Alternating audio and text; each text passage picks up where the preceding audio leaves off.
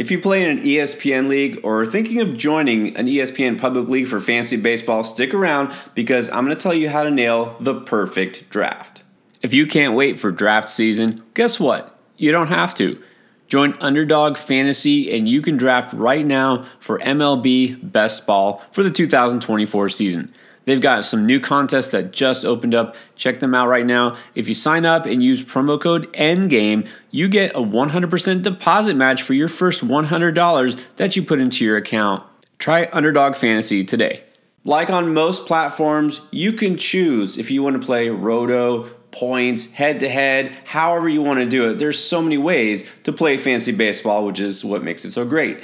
But the default setting for ESPN is different than on the others because it does right now default to head to head points. And that matters a lot. I told you on my mistakes to avoid when you're drafting is not knowing your league settings because there's a huge difference, which is why the ADP on ESPN is going to look a lot different than it does on Yahoo or any other site. If you want to know the details of how it works and what ESPN's default scoring is, well, you can go check that out on their site. But let me just tell you that the way I'm breaking down this perfect draft is from the standpoint of their default, which is a 10 team points league head to head. So here we go. So in round one, who should you target? I mean, you can't go wrong with any of the choices there. Juan Soto would be nice if you have the number one or two pick, but let's assume that you don't. And in that case, Let's go with a standby, Jose Ramirez. You can't go wrong with him in this format. Now, he's been a first rounder in any format the last few years. Slipped a little bit last year, and so that's why, for the most part, in roto leagues, you'll see him now as my early second, mid second round pick. But in this format, he's a first rounder, and the reason is plate discipline. That's what makes Jose Ramirez so valuable. Yeah, he gets you home runs and stolen bases. If you're playing points, that is, well, it's still important, but those categories specifically aren't as important. It's the fact that he draws walks and he barely strikes out. His K minus BB percentage is zero. That's right, last year he struck out 10.6% of the time and he walked 10.6% of the time. That is impressive. There are very few batters who can keep their strikeout and walk rates close, much less dead even. And again, this is so important, which is guys like J-Ram, Alex Bregman, these players with superior plate discipline are so much more important in this type of format. So, Jose Ramirez, first round, yeah, he deserves it. And then another little reversal here a guy who's unanimous first round pick in almost every platform. But on ESPN, Julio Rodriguez, believe it or not, is available around pick 20. In fact, as of right now, I'm looking at his current ADP on ESPN. It's 23. Just a couple days ago, it was at 27. Why? Why so low? We've seen him go as high as number two overall in some leagues. Well, it's not like he has terrible plate discipline. It's just that those steals don't hold quite as much weight in this format. Batting average and just getting on base matters a little bit more, but still, we're talking about just a total stud here, and there's no reason to think he can't do better this year. This guy's coming off just one full season in the majors. Yeah, I think he's definitely worth a second round pick in any format. In fact, last year at the age of 22, he still finished 17th overall in points in this exact scoring system. So it's safe to say he's definitely worth a second round pick. And if he's there, I'm grabbing him. Then in round three, I'm going to grab another player that is going to be worth less in a points format, but I still think is being undervalued Trea Turner. Now, the one concern here is that his batting average, which used to be superior, he was always among the league leaders just a couple years ago, but last year dropped to 266. And he's not a player who draws a lot of walks. So his main appeal and is usually steals. Again, a little less important here, but still, this is a guy who can rack up points very easily. He's still a superior player. I do think he does better than last year. Know, he just got off to a very slow start. A lot of things going on. Remember, they didn't have Bryce Harper or Rhys Hoskins. A lot of injuries in Philadelphia in the first half of the season. And I think Turner will get back. Maybe if he doesn't hit over 300, that wouldn't be surprising. But I think he does better than last year. And again, just too good of a value to pass up here.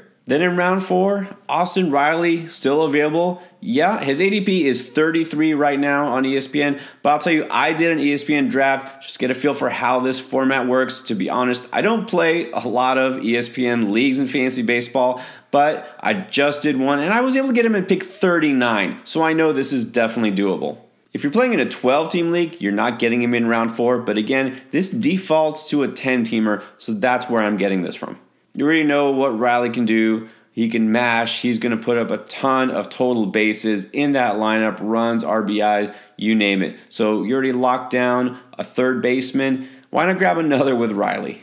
You can always slide one of them to your utility spot. And don't forget, Jose Ramirez might get some looks at second base this year, according to new manager Stephen Vogt. So you could slide him over at second and put Riley at third base. All right, it's time to grab a pitcher. Now, I'm going to go with Logan Gilbert of the Mariners. I'll tell you what, I really love George Kirby in this type of format because just so steady, consistent, is going to get you points. But you might notice that Kirby's ADP is almost a full round higher. Logan Gilbert wound up with the exact same amount of fantasy points as Kirby last year. They both got exactly 410 in ESPN scoring. And despite being slightly different types of pitchers, their production is almost identical. They're both guys who get right around 200 innings pitched. They're going to rack up wins. Obviously, being on the same team, same situation. Why not get the guy who's available around later? You really don't need an ace quite as badly if you don't consider Gilbert or Kirby guys like that an ace. I know some people do, but again, you're not looking for somebody to lead the way in ERA or WHIP or those single based categories. You're looking for total points, guys who can accumulate. I think any of these Mariners pitchers early on can do it. I'm going with the guy who's the best value in Gilbert at round five. In round six, is it too early for Yandy Diaz? It is not.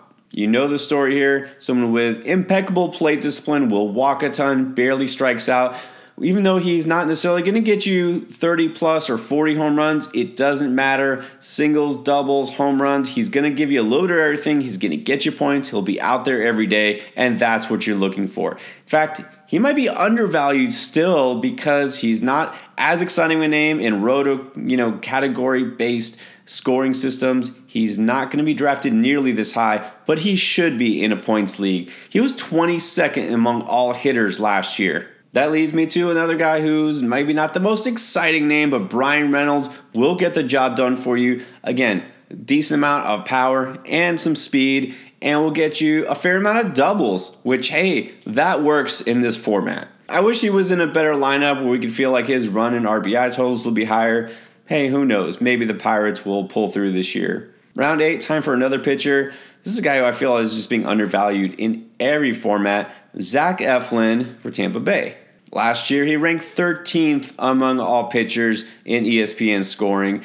So, will he do better, or was last year kind of his peak? Some people don't think he will repeat what he did last year, but why not? This was his first go in Tampa Bay. Don't need to explain how Tampa Bay has managed to work with all sorts of veteran pitchers and make them significantly better. Eflin is a guy who's always had the skills. The underlying metrics have supported this. He continues to get better with age. Why can't he do even better this year? Next, let's go back to the infield and Xander Bogaerts, guy who right now think, well, another shortstop. We already got Trea Turner, but don't forget he's actually going to be the second baseman for the Padres this year. So it won't take more than a week or two, depending on your league's rules and where you play, before he's second base eligible. He's a career 291 hitter, and again, will draw walks, get base hits. He's gotten at least 250 total bases three straight seasons.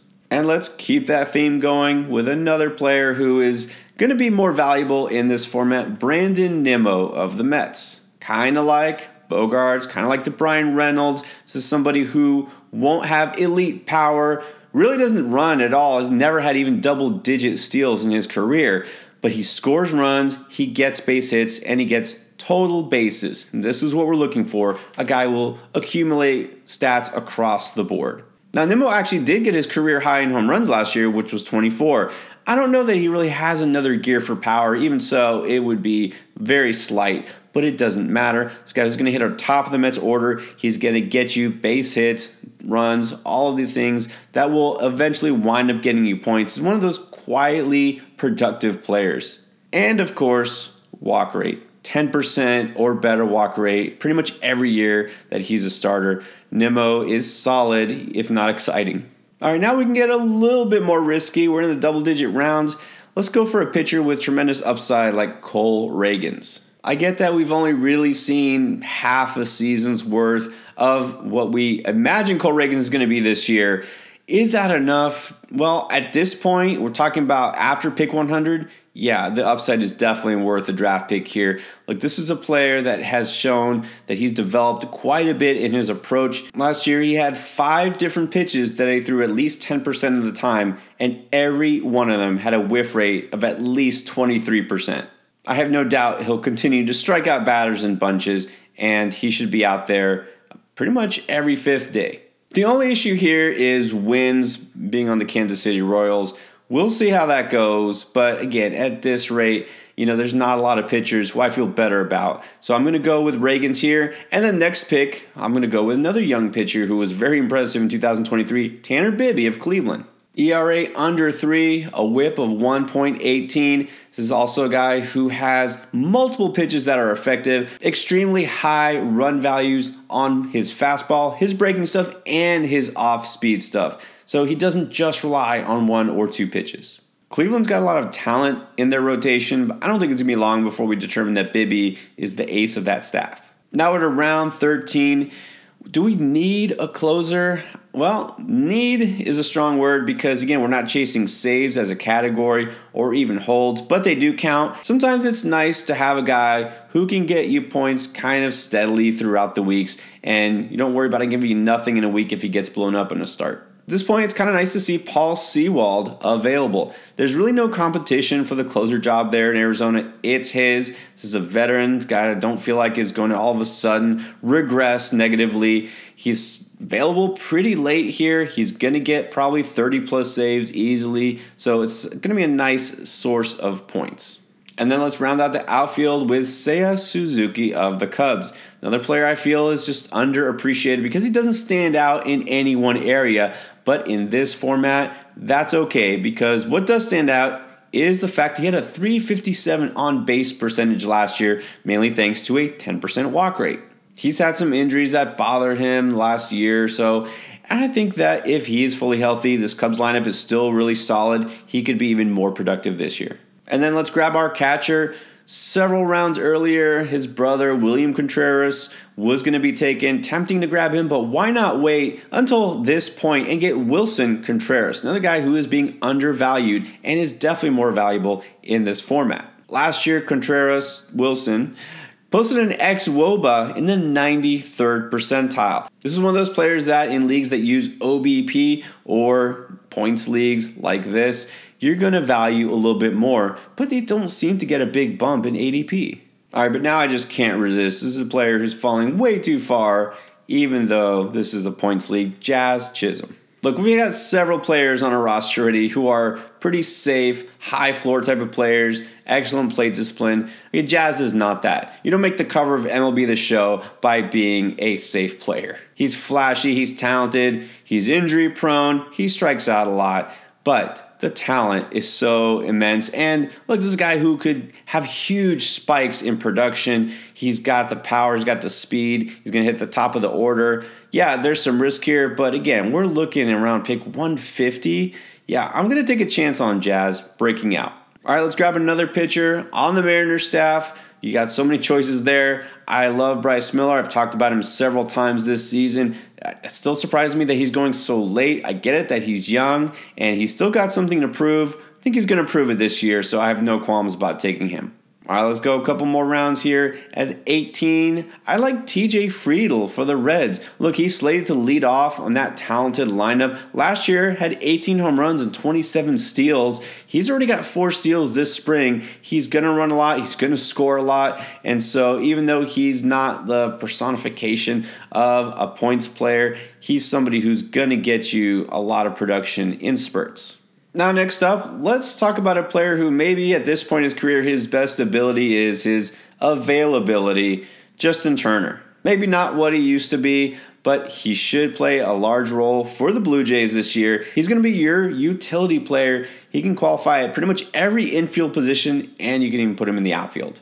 Does not strike out very much and still showed he has quite a bit of power. I think going to the Blue Jays in that lineup should help him, if anything a little long in the tooth, but still, we're looking for a utility player with upside. Turner is it. And then round 20, you can go a lot of directions here. Let's fill out the bench. You get another outfielder who can slot in multiple positions, Chas McCormick. It would be nice to see him cut down on his K rate a little bit, but he does walk a fair amount. He's going to be out there every day, it looks like, for the Astros this year. Can play left center and right field, and I think he's going to play an important role in this lineup. He's going to accumulate a lot of runs and RBIs. Got some power, got some speed, a little bit of everything. And I can't emphasize enough how important it is in a scoring format like this just to be out there, to accumulate those at bats, to be available. That's my perfect draft if I'm doing an ESPN standard league. If you draft on Yahoo or you're curious what the difference is, well, here's my perfect draft for Yahoo.